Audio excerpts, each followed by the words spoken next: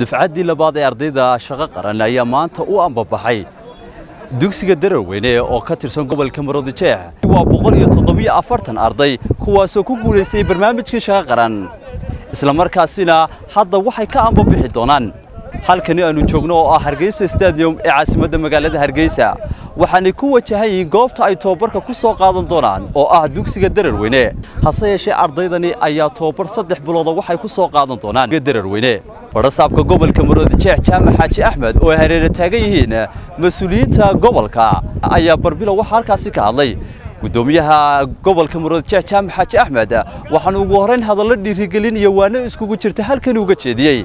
Ardaydani iyagu u ambabixi doona tobabarkani ay ku soo qaadan doonaan dugsiga dararweyne dhallinyarada ku guulaystay imtixaanka ee gobolka maroodijeex waxa weeyaan inamadu waxa weeyaan boqol iyo afartan iyo toddoba. Habluhuna waxa weeyaan toddobaatan. Naafadu waa boqolkiiba shan iyagu ma gelayaan tababarka. Hablaha iyo naafadu aad iyo aad baan idinku mahadnaqayaa. Waxaynu fuuli doonaa basaska. Si ixtiraam iyo walaaltinimo ku jirto ayaad u fuulaysaan basaska. Waxa weeyaan waxaynu tegaynaa xaruntii dararweyne saraakiishii tababarka idiin furaysay iyo macallimiintiiba ayaa aanu ku wareejin doonaa. Hay'addii shaqo qaran baa iyaguna idinla joogi doona. Oo mar walba idinla socon doona shaqadiinna iyo hawsha aad qabanaysaan. Waxaynu mahadnaqaynaa madaxweynaha jamhuuriyadda somalilan mudane muuse bixi cabdi oo fursaddan dhallinyarada siiyey oo ay ka dhalatay halabuurkiisii iyo himiladiisii iyo ballanqaadkii uu ku galay ololaha doorashada. Dhallinyarada reer somalilan waxay haystaan fursado qaaliya oo aanay haysanin dhallinyarada kayrkiini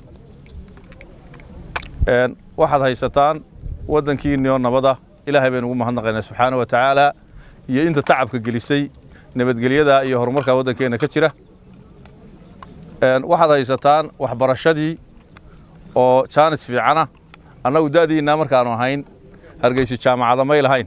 Somalilanna jaamacada kuma olin muqdisho keliya dalkii laysku odhan jiray soomaaliya jaamacad ahayd maanaan helin fursadda aad haysataan.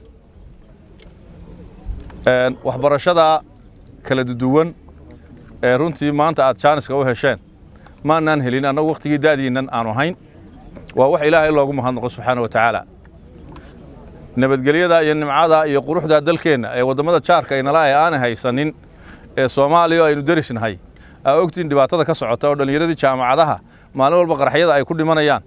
Iyo yeman oo iyadana aa ogtiin qaxoontigeedii nala joogo.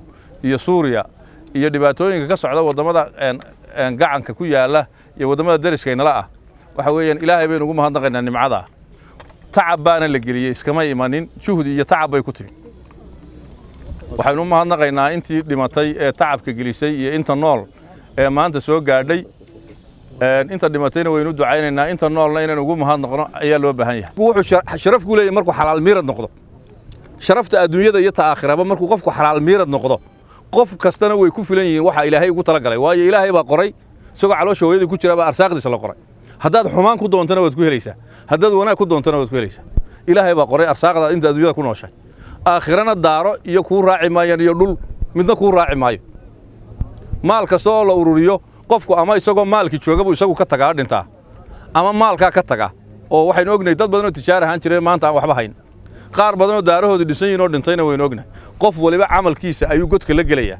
Marka intuu adduunyada ku noolaya inuu sharaftiisa iyo karaamadiisa ilaashado ayaa loo baahan yahay. Jaamac xaaji axmed waxa uu ardaydani ka waadhiyey inaanay marnaba u hanqaltaagin dowladda federaalk ee soomaaliya taasoo uu sheegay inay xilligani hagardaamo badan ku hayso waa sida hadalka u dhigaya shacabka somalilan. Dad aan odhan karo waa dad siyaasadda ku fashilmay oo dalkoodii markay joogi kari waayeen soomaaliya u shaqo doontay ayaa dhallinyarada reer somalilan xamar uga gacan haadinaya. Waxay uga gacan haadinayaan meel halaag iyo dhibaata ka socoto oo maalin walba dhallinyaradu iyagoo jaamacadaha ku socdo basa saaran aan waxba galabsanin ay boqol boqol u dhimanayaan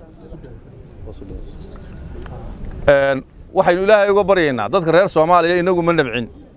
Waa dad walaalaheenna waa dad muslina dhibaatada gaadho waynu ka naxaynaa. Ilaahay waxaynu uga baryaynaa inuu dhibaatada uga saaro ka saaro. Laakiin mas'uuliyiinta maanta soomaaliya ka taliya waxay ka naxayaan dhibaatada waxay ka naxayaan horumarka somalilan. Waxay ka naxayaan maanta markay barnaamijkaas shaqo qaran iyo dhallinyarada carbaska loo furayo iyo horumarka somalilan ka socda markay daawadaan way ka naxayaan waa khaalid yuusuf xasan fantastic wararka telefishinka somaali kebal hargeysa